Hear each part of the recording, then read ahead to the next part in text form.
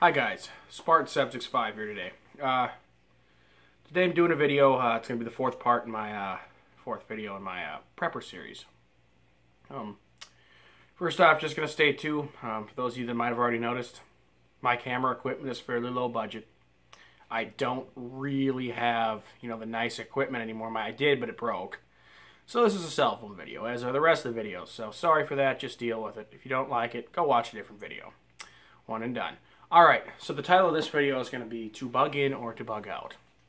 Um, I'm going to start off by def defining bugging in and bugging out. If you're not a prepper, uh, bugging in uh, would be to stay at your current location, like your house, just to stay there either indefinitely or a bug in, bug out procedure, which is you have you plan to, to stay at your location for a set period of time until things calm down and then go to your bug out location where you're looking to be a little more secure. Um, you know, that that's that's what I would probably do is to do a bug in, bug out. Um, if it was a viral pandemic or something like that, um, I would bug out immediately because I wouldn't risk getting sick. But in a more realistic type of thing, um, like your power grid power grid failure, uh, cyber attack in the power grid, which has happened in other countries before. Um, you know, something like that where the power goes out, where there's not running water, sewer. You know, there isn't going to be any trucks in the road, no gas, nothing. Um, it's pretty much going to go back to the way it was in the uh, late 18, early night or mid 1800s, to be honest. Um, unless you know how to create electricity, which actually isn't that difficult. I know how to do that. Um, and I will make a video. There's a few different ways you can create electricity using DC motors, uh, fan blades, um, PV cells, uh, ferrite rods in the ground. There's, uh, I mean, that isn't that isn't very efficient, but it works. Um, but there's a lot of different ways you can make electricity, to say the least. It's not impossible. Um, whoops, pardon me. I'm having a beer here, so you know it's Saturday night. What the hell? Um, I'll go over that in a different video. But getting off topic again, like I usually do. Um, so for bugging in, what do you want? For bugging in, number one, you're going to want a decent supply of weapons and ammunition to protect yourself and your family, as you see over there, or your friends, or to supply people in your group or community that you have a plan to bug in with, or bug in within that neighborhood or community to supply them with weapons they need. Um, vice versa, like they could supply you, you know, you'd have to work as a community. One of the biggest things is, is um, everybody would have to have a purpose. Um, as far as to be accepted into any type of post-apocalyptic dystopian community, everyone would have to be good at something. You couldn't just have people that what I what I would call eaters, that all they do is eat and shit um, and complain. Uh, those people would not be welcome. Um, but everybody usually has a set skill, whether it's car repair, weapons repair, um, electronics, um, anything, engineering, architecture, construction, bookkeeping, nursing, anything like that, medical, anything. Um, bookkeeping, yes, I said bookkeeping. Um, that is actually very important. A lot of, not a lot of people think about that. But to itemize the rations and canned goods you have, and the seeds you have, and the water you have, and the weapons you have, keeping inventory on everything, making sure it's distributed fairly and e equally. That's where a bookkeeper would come in actually quite well. Um, but anyway, so like I said, bugging in. Um, you're going to want a good supply of food. You don't want to just live off of canned food. If you're doing a permanent bug in, like let's say you live in the country, you don't live in the city, you're doing a permanent bug in where you are, you want to have your seeds, you want to start planting those seeds, um, you want to start hunting because your canned supply is your emergency food, and that is going to be eaten when hey, it's winter. I don't. I ran out of food. I ran out of meat. I ran out of veggies. I ran out of this.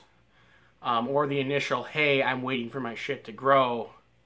That's what the canned food is for. I've gone over this in the other video that you don't want to eat that as a supplementary like all the time for a year because it's not the best for you. Now, if you're physically active all the time, yeah, you're going to burn it off. But uh, in a you know, depending, like I said, if you have a vehicle or fuel or uh, where you're bugging in, I mean, you might be physically active, you might not be as physically active. Um, bugging out. Um, now, bugging out would be like, hey, um, let's say we're talking about an immediate bug out situation.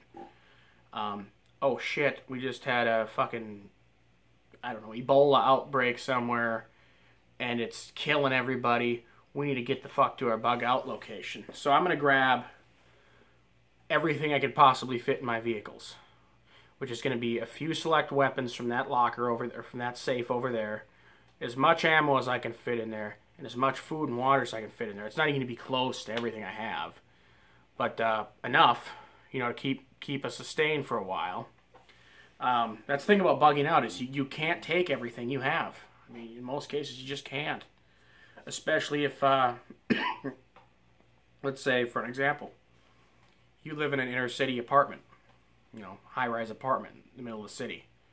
You pretty much have two options there. Your initial option is to bug the fuck out right away before shit gets haywire, which is probably take like a half hour.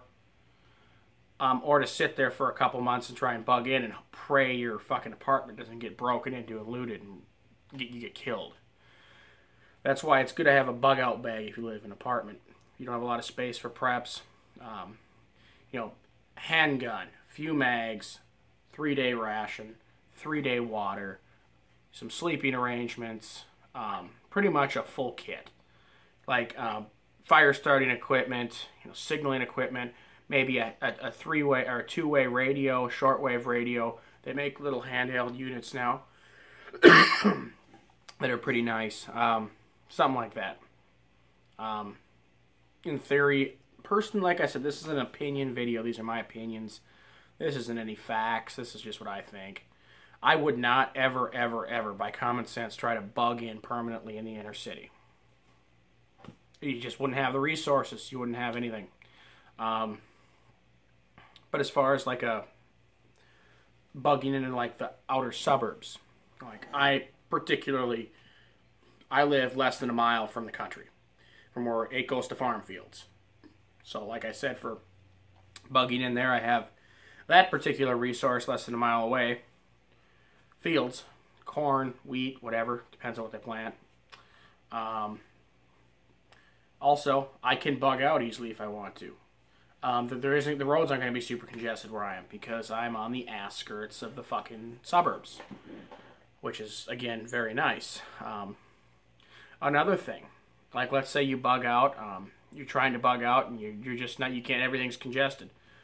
This is really months after. I mean, there's post um, there's actually been some good post-apocalyptic movies made or dystopian films or dystopian documentaries. Um, here's another thing: if you know how to fly a plane, um, I do. Um, little municipal airports, like those little strips in the country in the middle of nowhere with like five hangars. Obviously, after a couple months, three or four months, if everything's abandoned, hey, hey, you know, there's no electricity, doesn't look like anyone's, you know, used it or touched it in years. Hey, there you got a plane you can fly out and go to your bug out location. Um, obviously, you wouldn't want to turn into one of those bad guys that, hey, I'm going to take this. Obviously, no. It's if it's just. My opinion is if it's not really somebody's anymore and it's just sitting there, maybe the owners passed away or they bugged out somewhere else or they obviously don't care about it. Hey, if it's there, it's for the taking.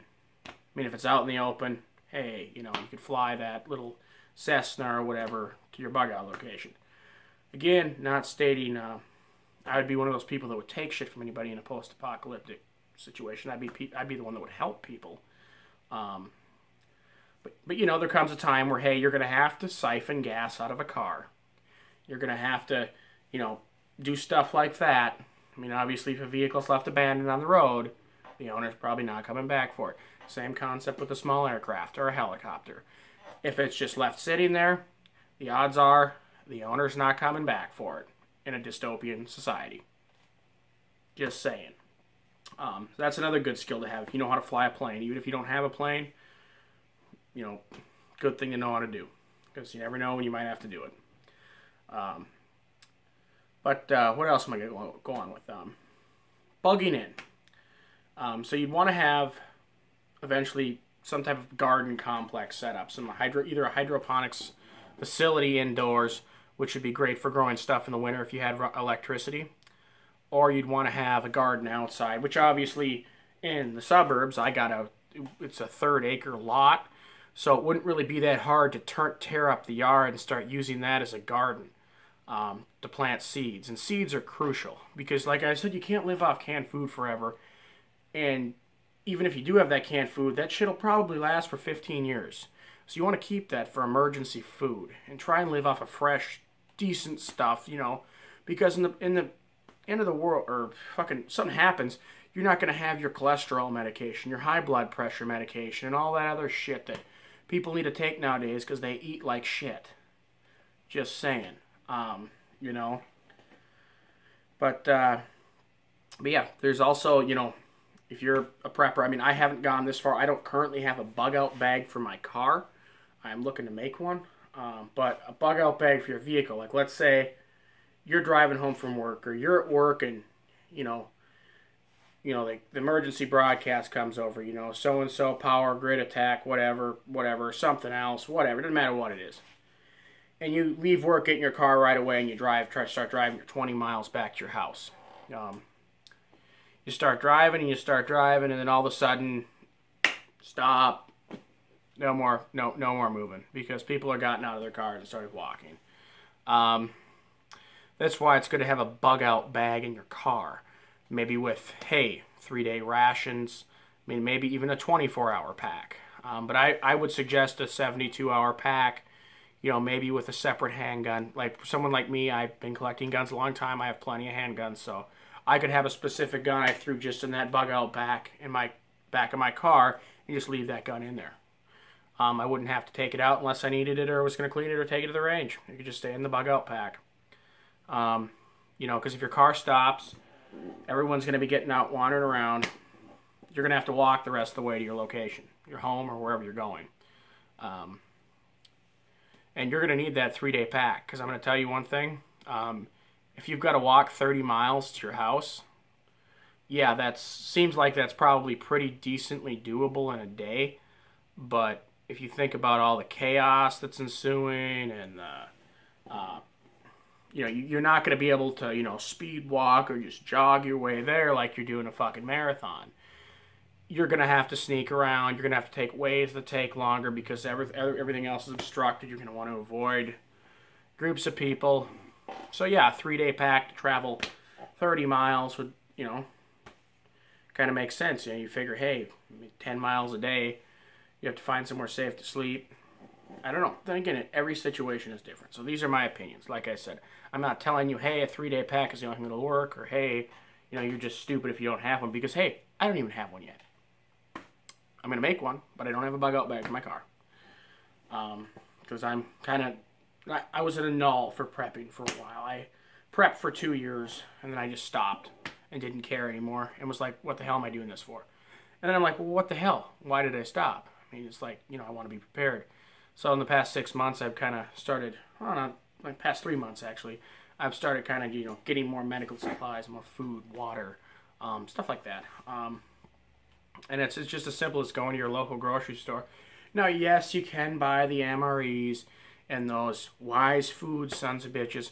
Yes, it's dehydrated food as an MRE, but you look at the cost of those things, they're like seven bucks a pop per meal, per little thing. I can go to the grocery store, get my ass a can of tuna uh, and olive oil for 70 cents and get my ass, you know, maybe a can of uh, peach or a can of peaches, something with sugar in it. I could pretty much build an MRE out of canned goods for about 250 you know. Um, so yeah, I'm I'm I would like MREs, but for ninety seven dollars for twenty four of them, I'm just not going to pay that. And those aren't the uh, those aren't the combat individuals either. Those are the single rations, like the three a day rations. So you do 24 of those, you have to eat three of them a day to be supplemented. And you're probably going to be pretty fucking constipated because US MREs just suck compared to the rest of the world. Um, yeah, I'd rather just eat canned shit. Maybe get a, a couple cases of MREs just for like light treks where you need to trek out somewhere and walk somewhere where you're not having to haul, you know, the heavier cans. But again, that's my opinion.